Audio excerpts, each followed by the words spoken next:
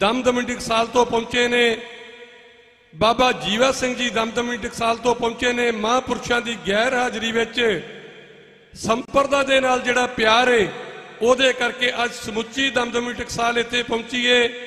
ਮੈਂ ਹੁਣ ਅਦਬ ਸਹਿਤ ਬਾਬਾ ਜੀਵਾ ਸਿੰਘ ਜੀ ਨੂੰ ਬੇਨਤੀ ਕਰਾਂਗਾ ਕਿ ਉਹ 2 ਮਿੰਟ ਵਾਸਤੇ ਸਟੇਜ ਤੇ ਆ ਕੇ ਸੰਤ ਬਾਬਾ ਹਰਨਾਮ ਸਿੰਘ ਜੀ ਖਾਲਸਾ ਭਿੰਡਰਾ ਵਾਲਿਆਂ ਵੱਲੋਂ ਅੱਜ ਦੇ ਇਸ ਸਮਾਗਮ ਵਿੱਚ ਸੰਗਤਾਂ ਦੇ ਰੂਬਰੂ ਹੋ ਕੇ ਉਹਨਾਂ ਦੀ ਹਾਜ਼ਰੀ ਲਵਾਉਣ। ਸਾਡੇ ਅਤੀ ਸਤਿਕਾਰਯੋਗ ਬਾਬਾ ਜੀਵਾ ਸਿੰਘ ਜੀ ਦਮਦਮੀ ਟਕਸਾਲ। ਜਨਮ ਮਰਨ ਦੋਹ ਮੈਂ ਨਾਹੀ। ਜਨ ਪਰ ਉਪਕਾਰੀ ਆਏ। ਜੀ ਦਾਨ ਦੇ ਭਗਤੀ ਲਾਇਨ। ਹਰ ਸਿਉ ਲੈਨ ਮਿਲਾਏ। ਪਰਮ ਸਤਕਾਰਿਓ ਗੁਰੂ ਰੂਪ ਖਾਲਸਾ ਸਾਧ ਸੰਗਤ ਜੀਓ।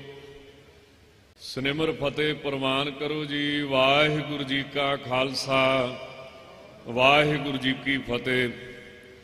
ਸਤਿਗੁਰੂ ਕਲਗੀਧਰ ਸੱਚੇ ਪਾਤਸ਼ਾਹ ਗਰੀਬ ਨਵਾਜ, ਬਾਣੀ ਅੰਦਰ ਬੜਾ ਸੁੰਦਰ ਫਰਮਾਉਂਦੇ ਨੇ, ਕਾਹੂ ਲੈ ਪਾਹਨ ਪੂਜ ਧਰਿਓ ਸਿਰ। ਕਾਹੂ ਲੈ ਲਿੰਗਰੇ ਲਟਕਾਇਓ, ਕਾਹੂ ਲਖਿਓ ਹਰ ਵਾਚੀ ਦਿਸ਼ਾ ਮਹਿ, ਕਾਹੂ ਪੁਸ਼ਾਹ ਕੋ ਸੀਸ ਨਿਵਾਇਓ। ਕੋ ਬੁਤਾਨ ਕੋ ਪੂਜਤ ਹੈ ਪਾਸ ਕੋ ਮਿਰਤਾਨ ਕੋ ਪੂਜਨ ਧਾਇਓ, ਕੂਰ ਕਿਰਿਆ ਉਰਜੋ ਸਭ ਹੀ ਜਗ ਸ੍ਰੀ ਭਗਵਾਨ ਕੋ ਭੇਦ ਨਾ ਪਾਇਓ। ਸੱਚੇ ਪਾਤਸ਼ਾਹ ਆਪਣੀ ਬਾਣੀ ਅੰਦਰ ਫਰਮਾਉਂਦੇ ਨੇ ਕਿ ਜਿੰਨਾ ਚਿਰ ਵਾਹਿਗੁਰੂ ਪਰਮੇਸ਼ਰ ਦੇ ਨਾਲ ਪ੍ਰੇਮ ਨਾ ਕੀਤਾ ਜਾਵੇ ਉਹਨਾਂ ਚਿਰ ਜਿੰਨੇ ਵੀ ਕਰਮ ਕਾਂਡ ਪਖੰਡ ਕਰ ਕਰਕੇ ਸੰਸਾਰ ਦੇ ਵਿੱਚ ਵਿਖਾਏ ਜਾਂਦੇ ਨੇ, ਇਹ ਸਭ ਨਿਸਫਲ ਹਨ। ਦੁਨੀਆ ਦਾ ਬੜਾ ਵੱਡਾ ਵਿਦਵਾਨ ਹੋਇਆ ਟਾਲਸਟਾਏ। ਉਹਨੇ ਬੜੀ ਸੁੰਦਰ ਗਾਥਾ ਲਿਖੀ, ਬੜੀ ਪ੍ਰਸਿੱਧ ਹੋਈ, ਤਿੰਨ ਫਕੀਰ। ਰੂਸ ਦੇ ਵਿੱਚ ਤਿੰਨ ਫਕੀਰ ਸਨ, ਬੜੀ ਪ੍ਰਸਿੱਧੀ ਹੋ ਗਈ। ਈਸਾਈ ਧਰਮ ਸੀ, ਈਸਾਈਆਂ ਨੂੰ ਬੜਾ ਖਤਰਾ ਪੈਦਾ ਹੋ ਗਿਆ। ਲੋਕਾਂ ਨੇ ਚਰਚ ਵਿੱਚ ਜਾਣਾ ਛੱਡ ਦਿੱਤਾ। ਜਿਹੜਾ ਰੂਸ ਦਾ ਵੱਡਾ ਪਾਦਰੀ ਸੀ, ਉਹਦਾ ਭਾਸ਼ਣ ਸੀ ਤੇ ਸੁਣਨ ਵਾਸਤੇ ਕੋਈ ਬਣਾ ਆਇਆ। ਤੇ ਜਿੱਥੇ ਉਹ ਤਿੰਨ ਫਕੀਰ ਸੀ, ਉੱਥੇ ਮੇਲੇ ਲੱਗਦੇ ਸੀ, ਸਾਰੀ ਦੁਨੀਆ ਹੀ ਉੱਥੇ ਜਾਣ ਲੱਗ ਪਈ। ਤਾਂ ਉਹਨੂੰ ਫਿਕਰ ਹੋਇਆ, ਉਹਨੇ ਇੱਛਾ ਧਾਰੀ ਕਿ ਇਹਨਾਂ ਤਿੰਨਾਂ ਨੂੰ ਮਿਲਣਾ ਚਾਹੀਦਾ ਹੈ। ਸੋਨੇ ਦਾ ਮੁਕਟ ਪਾ ਕੇ, ਹੱਥ ਵਿੱਚ ਸੋਨੇ ਦਾ ਡੰਡਾ ਫੜ ਕੇ, ਆਪਣੇ ਲਾਮ ਲਸ਼ਕਰ ਨੂੰ ਨਾਲ ਲੈ ਕੇ ਪਤਾ ਲੱਗਾ ਕਿ ਕਿਸੇ ਦਰਖਤ ਥੱਲੇ ਨਦੀ ਨੂੰ ਪਾਰ ਕਰਕੇ ਉਹ ਫਕੀਰ ਤਿੰਨੇ ਰੱਬ ਦਾ ਧਿਆਨ ਕਰ ਰਹੇ ਹਨ। ਜਦੋਂ ਉਹਨਾਂ ਪਾਸ ਗਿਆ, ਤਾਂ ਜਾ ਕੇ ਇਹਨੇ ਆਪਣਾ ਗੁੱਸਾ ਜ਼ਾਹਰ ਕੀਤਾ। ਕਿ ਫਕੀਰੋ, ਤੁਸੀਂ ਆਪਣੇ ਆਪ ਨੂੰ ਸੰਤ ਖਵਾਉਂਦੇ ਹੋ। ਕਿਉਂ ਈਸਾਈ ਧਰਮ ਦੇ ਵਿੱਚ ਕੋਈ ਆਪਣੇ ਆਪ ਨੂੰ ਸੰਤ ਨਹੀਂ ਅਖਵਾ ਸਕਦਾ, ਜਿੰਨਾ ਚਿਰ ਚਰਚ ਨਹੀਂ ਇਸ ਗੱਲ ਦੀ ਆਗਿਆ ਦਿੰਦੀ। ਉਹ ਕਹਿਣ ਲੱਗੇ, ਨਹੀਂ ਜੀ, ਅਸੀਂ ਨਹੀਂ ਸੰਤ ਖਵਾਉਂਦੇ ਪਰ ਸਾਨੂੰ ਦੁਨੀਆ ਸੰਤ ਕਹਿੰਦੀ ਹੈ। ਤੇ ਤੁਸੀਂ ਚੰਗਾ ਹੋਇਆ ਆ ਗਏ ਸਾਡਾ ਖਿਹੜਾ ਛਡਾਓ, ਸਾਡੀ ਤੇ ਭਜਨ ਬੰਦਗੀ ਦੇ ਵਿੱਚ ਹੀ ਬੜਾ ਫ਼ਰਕ ਪੈਂਦਾ ਹੈ। ਤਾਂ ਉਹ ਪਾਦਰੀ ਨੇ ਸਮਝਿਆ ਵੀ ਬੰਦੇ ਭੋਲੇ ਨੇ। ਏਡੀ ਕੋਈ ਗੱਲ ਜਾਪਦੀ ਨਹੀਂ ਹੈ। ਉਹਨੇ ਦੂਸਰਾ ਸਵਾਲ ਕੀਤਾ ਵੀ ਤੁਸੀਂ ਬਾਈਬਲ ਪੜ੍ਹੇ ਹੋ? ਉਹ ਹੱਸ ਪਏ, ਕਹਿਣ ਲੱਗੇ, ਜੀ, ਅਸੀਂ ਤੇ ਚਿੱਟੇ ਅਨਪੜ੍ਹ ਆ। ਕਹਿੰਦੇ, ਵੀ ਤੁਸੀਂ ਬਾਈਬਲ ਵੀ ਨਹੀਂ ਪੜ੍ਹੇ? ਉਹਨੇ ਤੀਸਰਾ ਸਵਾਲ ਕੀਤਾ, ਤੁਹਾਨੂੰ ਅਰਦਾਸ ਕਰਨੀ ਆਉਂਦੀ ਹੈ? ਦੁਆ ਕਰਨੀ ਆਉਂਦੀ ਹੈ? ਉਹ ਕਹਿਣ ਲੱਗੇ, ਜੀ, ਰਹਿਣ ਦਿਓ ਕਾਹਨੂੰ ਪੁੱਛਣਾ ਤੁਸੀਂ?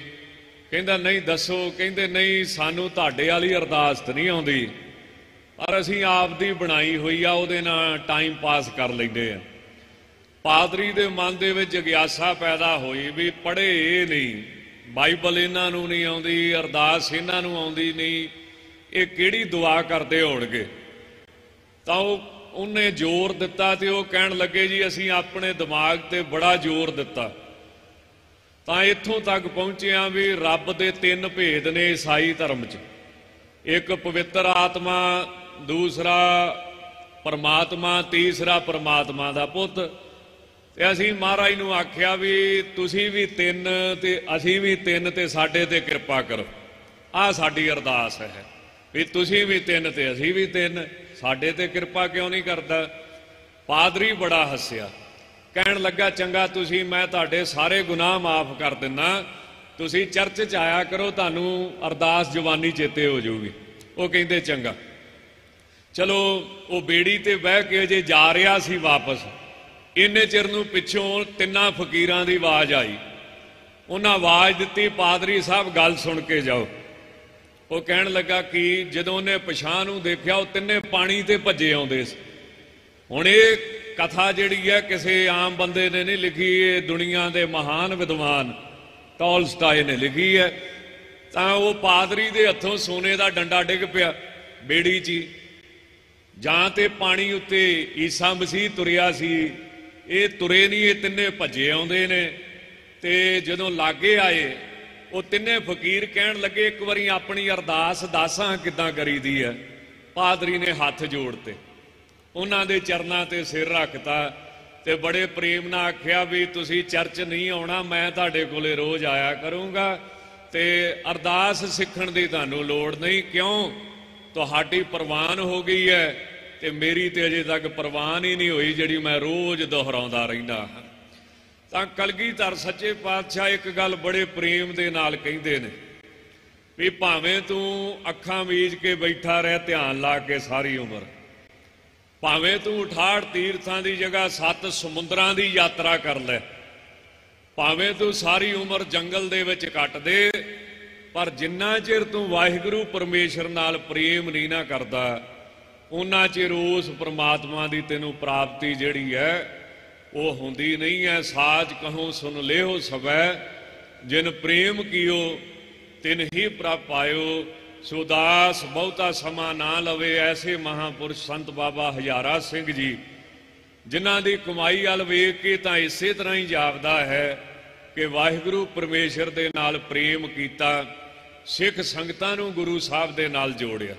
ਕਈ ਵਾਰੀ ਨਾ ਸਾਡੇ ਮਨ 'ਚ ਕਹਿਣੋਂ ਝਿਜਕਣਾ ਨਹੀਂ ਚਾਹੀਦਾ। ਮਹਾਂਪੁਰਸ਼ ਬ੍ਰਹਮ ਗਿਆਨੀ ਸੰਤ ਸੁਖਦੇਵ ਸਿੰਘ ਜੀ ਨਿਰਮਲੇ ਸੰਤ ਹੋਏ ਯੂਪੀ ਦੇ ਵਿੱਚ।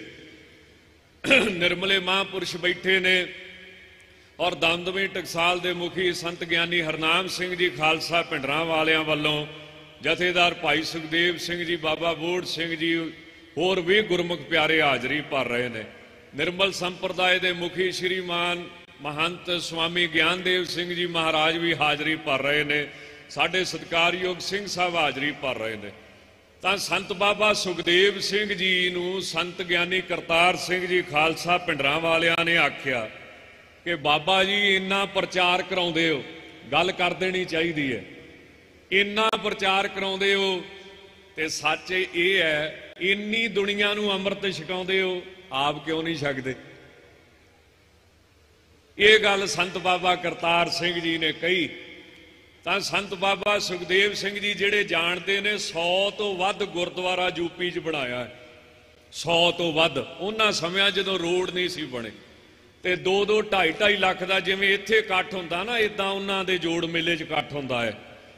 ਤਾਂ ਉਹ ਚੁੱਪ ਕਰ ਗਏ। ਕਿਉਂ? ਜਥੇ ਨੂੰ ਵੀ ਉਹੀ ਸਾਦੇ ਸੀ, ਅੰਮ੍ਰਿਤ ਸੰਚਾਰ ਵੀ ਉਹੀ ਕਰਾਉਂਦੇ ਸੀ, ਸਮਾਗਮ ਵੀ ਉਹੀ ਕਰਾਉਂਦੇ ਸੀ। ਤਾਂ ਚੁੱਪ ਕਰਕੇ ਬਾਅਦ 'ਚ ਪਤਾ ਕੀ ਆਖਿਆ? ਕਹਿੰਦੇ, ਮਹਾਰਾਜ, ਐਸ ਜਨਮ ਤੇ ਇਸੇ ਤਰ੍ਹਾਂ ਨਾਮ ਰੂਪੀ ਅੰਮ੍ਰਿਤ ਛਕਣ ਦਾ ਹੀ ਹੁਕਮ ਆ। ਪਰ ਕੋਈ ਗੱਲ ਨਹੀਂ, ਤੁਸੀਂ ਕਿਰਪਾ ਕਰੋ, ਦਸਵੇਂ ਪਾਤਸ਼ਾਹ ਦੇ ਪਿਆਰੇ ਹੋ ਜਦੋਂ ਅਗਲੀ ਵਾਰੀ ਆਏ ਤੇ ਕਿਰਪਾ ਕਰਿਓ, ਫਿਰ ਖੰਡੇ ਬਾਟੇ ਦਾ ਅੰਮ੍ਰਿਤ ਛਕ ਕੇ ਪ੍ਰਚਾਰ ਕਰਿਆ ਕਰਾਂਗੇ ਸਿੱਖੀ ਦਾ। ਇਹ ਹੁੰਦੀ ਮਹਾਂਪੁਰਖਾਂ ਦੀ ਰਹਿਤ, ਇਹ ਹੁੰਦਾ ਮਹਾਂਪੁਰਖਾਂ ਦਾ ਪ੍ਰੇਮ ਸੁਦਾਸ ਬਹੁਤਾ ਸਮਾਂ ਨਾ ਲੈਂਦਾ ਹੋਇਆ, ਜਿੱਥੇ ਸ਼੍ਰੀਮਾਨ ਸੰਤ ਬਾਬਾ ਬੁੱਧ ਸਿੰਘ ਜੀ ਦਾ ਵਿਸ਼ੇਸ਼ ਕਰਕੇ ਧੰਨਵਾਦ ਕਰੇ, ਉੱਥੇ ਸਤਿਕਾਰਯੋਗ ਭਾਈ ਸਾਹਿਬ ਭਾਈ ਲੋਕਦੀਪ ਸਿੰਘ ਜੀ, ਤਿਨਾਂ ਦਾ ਵੀ ਵਿਸ਼ੇਸ਼ ਕਰਕੇ ਧੰਨਵਾਦ। ਸੋ ਦਮਦਮੀ ਟਕਸਾਲ ਦੇ ਮੁਖੀ ਸੰਤ ਬਾਬਾ ਹਰਨਾਮ ਸਿੰਘ ਜੀ ਖਾਲਸਾ ਪਿੰਡਰਾਂ ਵਾਲੇ ਅਮਰੀਕਾ ਵਿੱਚ ਗਏ ਹੋਣ ਕਰਕੇ ਪਹੁੰਚ ਨਹੀਂ ਸਕੇ, ਸੋ ਉਹਨਾਂ ਮਹਾਂਪੁਰਸ਼ਾਂ ਦੀ ਹਾਜ਼ਰੀ ਪ੍ਰਵਾਨ ਕਰਿਓ ਜੀ। ਸਾਰੀਆਂ ਸੰਗਤਾਂ ਸੰਤ ਬਾਬਾ ਹਜ਼ਾਰਾ ਸਿੰਘ ਜੀ ਦਾ ਬਚਨ ਮੰਨਦੇ ਹੋਏ ਖੰਡੇ ਵਾਟੇ ਦਾ ਅੰਮ੍ਰਿਤ ਛਕੋ, ਧੰਨ ਗੁਰੂ ਗ੍ਰੰਥ ਸਾਹਿਬ ਜੀ ਦੇ ਲੜ ਲੱਗੀਏ। ਵਾਹਿਗੁਰੂ ਜੀ ਕਾ ਖਾਲਸਾ, ਵਾਹਿਗੁਰੂ ਜੀ ਕੀ